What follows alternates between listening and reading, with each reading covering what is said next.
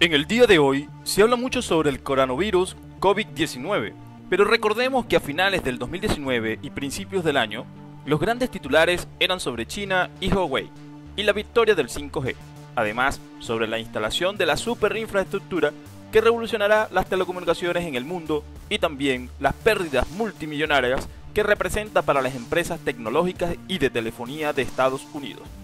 Tanto así que declaraciones de Donald Trump presidente de Estados Unidos, vetó estas tecnologías en su país, planteándolas de riesgos a la seguridad nacional, y aprobó la revocación de la licencia Android para Huawei u otros dispositivos que provinieran de China, y así no podrán descargar ninguna aplicación de la Play Store o disfrutar de su servicio. La clave del problema era dar tiempo a Estados Unidos, cerrarle el paso a China y además controlar a Latinoamérica que estaba aún movilizada por las protestas por intervenciones directas de los Estados Unidos, caso Bolivia, o la población en descontento por gobiernos tutelados por Donald Trump y aplicando medidas económicas que impactan en el bolsillo del pueblo, generando crisis y la salida de la gente a las calles, caso Chile, Colombia, Brasil.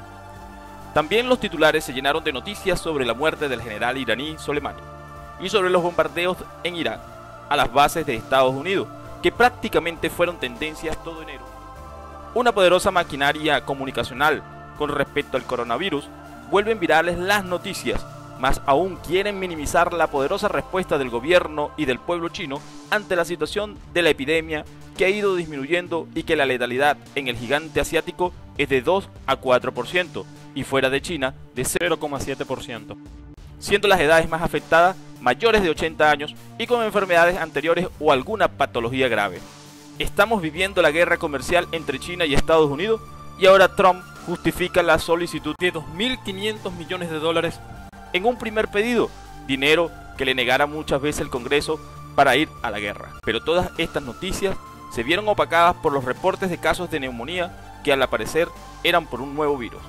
Ahora, es el mejor escenario para las élites financieras.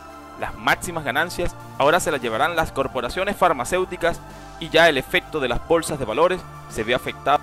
Antes de nada, hablemos de cómo ha viajado el virus, empezando desde aquí, Wuhan, donde apareció el brote.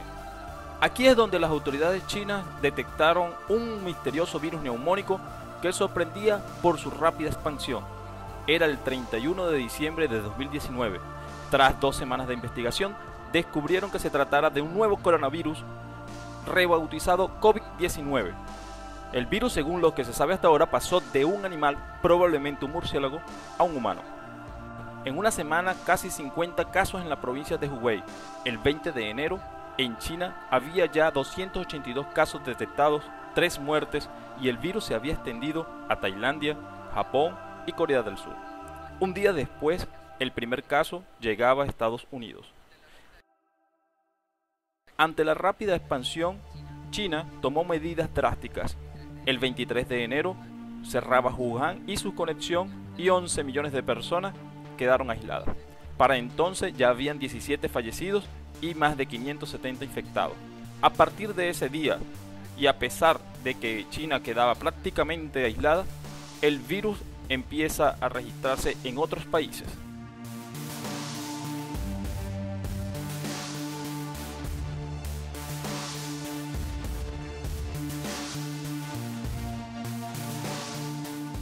Y ante el avance constante, el 30 de enero, la Organización Mundial de la Salud declara la emergencia global.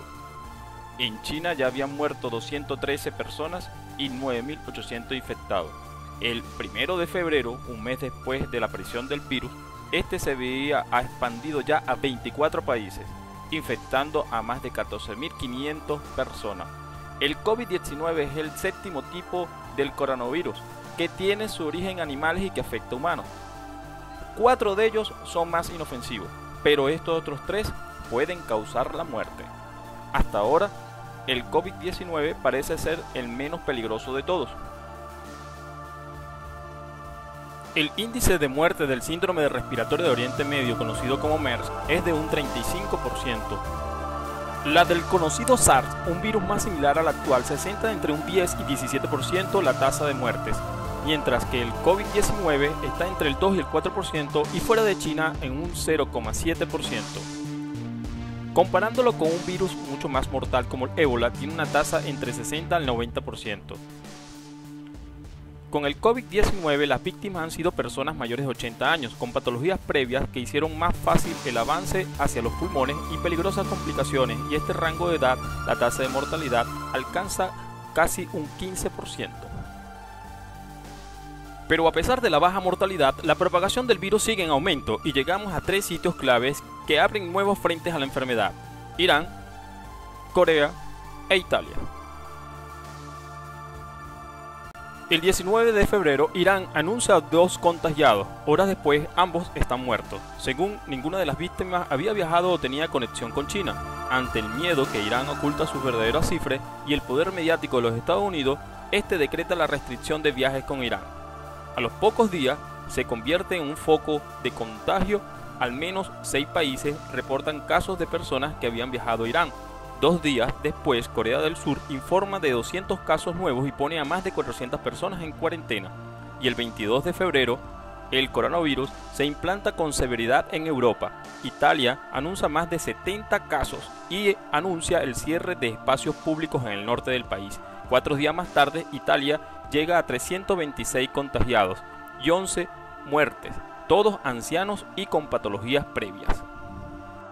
El virus comienza a expandirse y de Italia pasa a otros países, entre ellos España. Para el 25 de febrero hay 10 casos de coronavirus en España y el 26 de febrero se identificó a un brasileño de 61 años que había viajado recientemente al norte de Italia, llegando así el coronavirus a Latinoamérica, específicamente a Brasil. 28 de febrero se confirma el primer caso de México y a la fecha llevan cuatro casos y más recientemente el primero de marzo un caso importado de una ecuatoriana que viajó a España convirtiendo a Ecuador en el tercer país latinoamericano en confirmar un caso de COVID-19.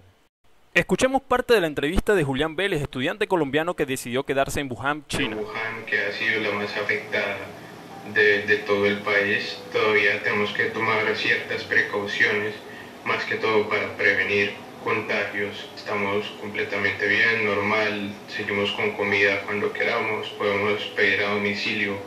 Todos medios. Entonces yo personalmente me siento muy seguro acá en China, eh, incluso más de lo que podría estar en Colombia por lo que te digo, porque acá en China están los recursos necesarios para que me atiendan en caso de alguna emergencia, lo que en Colombia tal vez sería un poco más, más complicado. Entonces yo personalmente me siento seguro y, estoy dispuesto a seguir colaborando en lo que sea porque sé que es una situación pasajera. Y es que la gente y gobiernos entran en pánico, pero no se espantan con las cifras de muertes por tres enfermedades como tuberculosis, VIH, SIDA y paludismo, que solamente en 2018 mató a 2,5 millones de personas. Escuchemos a José Pamies, especialista en Dulce Revolución, el cual su video ha sido varias veces eliminado del canal de YouTube. Buenas tardes, amigas, amigos. Una vez más, Dulce Revolución tiene que salir al paso de, estos miedos que nos provocan los grandes medios de comunicación y a través de la OMS y, y a través de los gobiernos, ¿no? Estamos hablando del coronavirus, ¿no? Ese peligroso virus que puede matarnos, sí, no sé cuántos muertos ha habido en China por unas neumonías, pero ¿sabéis cuántas personas han muerto en España por neumonía, por la gripe común, que también es otro coronavirus? De 19 a 20 mil muertos al año. Claro, porque son gripes en complicaciones de personas mayores que mueren por eso, ¿no?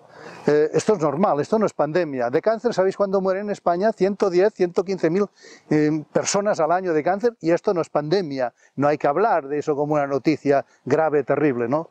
Bueno, coronavirus, pues es otra historia como la gripe A. ¿Os acordáis de la gripe A? ¿Os acordáis de la plaga, ahí de la epidemia del ébola, ¿no? Que también esas falsas epidemias que nunca llegaron a nada y fueron un timo. Pues el coronavirus va a ser lo mismo.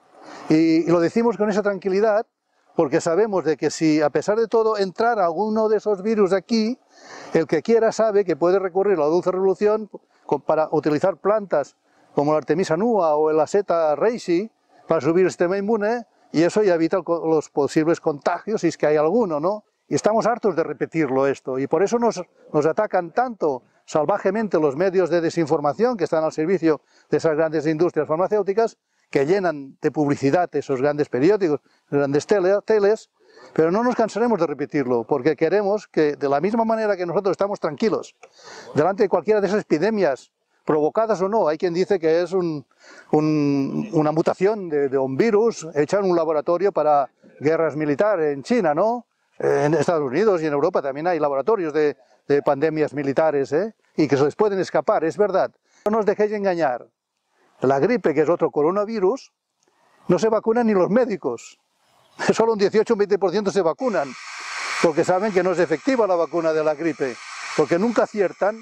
La gripe, como otro coronavirus que es, cada año muta también y no la aciertan nunca y siempre te dicen pínchate, pínchate para protegerte. Estamos locos.